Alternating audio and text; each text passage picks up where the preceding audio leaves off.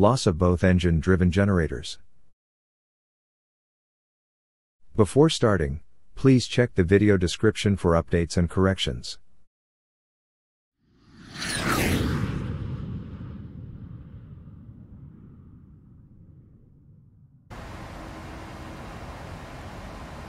Master caution, electrical.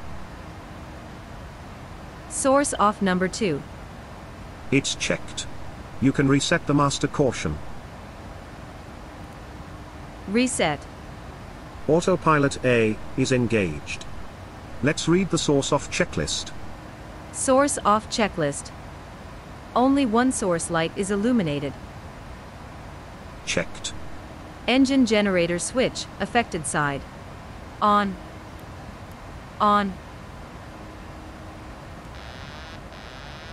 The autopilot disengaged, I have the controls. What happened? Both source off lights are illuminated. Checked. The checklist says to go to the loss of both engine driven generators checklist. Roger, let's read it. Condition both engine driven generators are off. Note, at high altitude, thrust deterioration or engine flameout may occur. Roger. Engine generator switches, both. On, one at a time. Number 1, on. The light is still illuminated. I'll try number 2. The light is also illuminated. Roger. I will start descending now to avoid a risk of an engine flameout. Call ATC, declare Mayday and notify we are descending now. Inform A that we are diverting to Bahrain. Roger. Mayday, Mayday, Mayday. Alpha Bravo Charlie descending now due to the loss of both engine driven generators. We are on electrical standby power only. Alpha Bravo Charlie, copy your mayday. You are clear to fly direct to Bahrain VOR and descend to the altitude of 10,000 feet, QNH 1018. I'm expediting our descent. The best chance to start the APU is below 25,000 feet. Let's keep reading the checklist. Continuing the checklist, it says, with both source off lights illuminated, choose one. APU is available for start or APU is not available. It is available. Just a moment, the cabin is above 10,000 feet. Don your mask, switch to manual control E try to control the pressurization. Canceling the warning. Manual mode selected. Outflow valve closed. The cabin altitude is under control. Agree. I will continue controlling the pressurization with the manual mode. Set the fasten belts signs on. Roger. Let's keep reading the checklist. Continuing the checklist, it says, with both source off lights illuminated, choose one. APU is available for start or APU is not available. It is available. In this case, bus transfer switch. Off. Off. Checked. Electric hydraulic switch pumps, both. Off. Off. Checked. Note, APU starts are not recommended above 25,000 feet. With both buses off, only one start attempted is recommended. Multiple start attempts reduce standby power capacity. We are already below 25,000, you can start the APU. APU. Start. Master caution, APU. APU fault. Roger, you can move the APU switch to off. With the APU not available, the checklist says avoid icing conditions. Note, flight in icing conditions can result in erroneous flight instrument indications. Roger. Plan to land at the nearest suitable airport. Note, a fully charged battery supplies a minimum of 30 minutes of standby power. The right IRS will operate on DC power for 5 minutes. Roger. Choose one. Only the first officer's primary attitude display is failed. Do you agree? Agree. IRS transfer switch, both on left. Both on left. Checked. Do not engage either autopilot. Choose one. Both source off lights are illuminated. Do you agree? Agree. Transition level, set QNH 1018. 1018 set. Request right turn to heading 120 and descent to 2000 feet. Mayday Alpha Bravo Charlie, your request is approved. You are clear for the ILS approach runway 30 right. Report when turning to intercept final. Continuing the checklist, the left IRS will operate as long as battery power remains.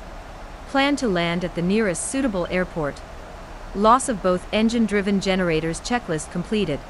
Roger, I am turning right to intercept a long downwind leg for runway 30 right.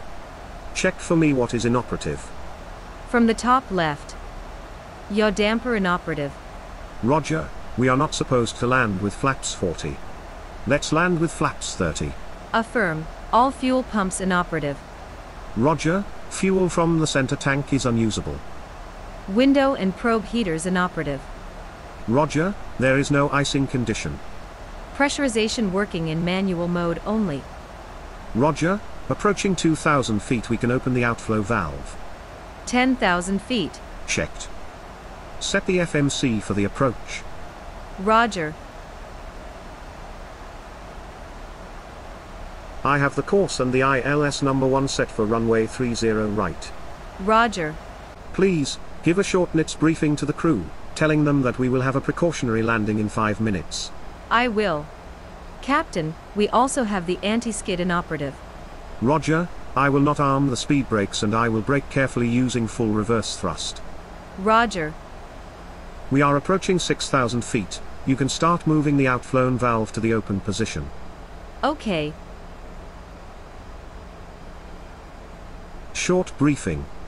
Landing in Bahrain, ILS runway 30 right set on the FMC. Course and radio number 1 set for the approach. Visual conditions. We will not have the flap indication available, so let's monitor its extension checking the yellow bar of the speed tape. The electric trim is inoperative, and I may need your help to trim the aircraft. After landing, I will extend the speed brakes manually, and I will apply manual brakes and use maximum reverse thrust, having in mind the anti-skid is inoperative. Questions? Negative. We are passing 4,000 feet. I will move the outflow valve to fully open position. Affirm. Flaps 1. Repot we are intercepting final. Mayday Alpha Bravo Charlie, you are clear to land runway 30 right, wind 360 at 8, QNH 1018. I can see the yellow bar is moving down, no roll. I am reducing the speed to flaps 1 speed. Roger. Flaps 5. On the localizer. Checked. Yellow bar moving down, no roll. Reducing speed to flaps 5 speed. Checked. Gear down. Flaps 15.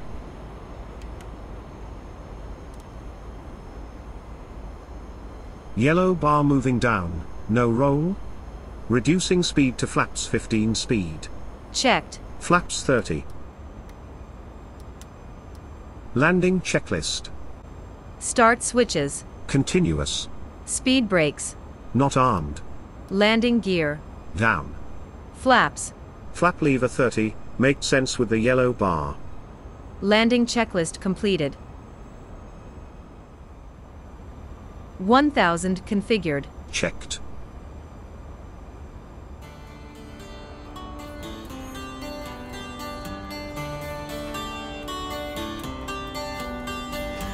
Speed brakes up. Reversers normal.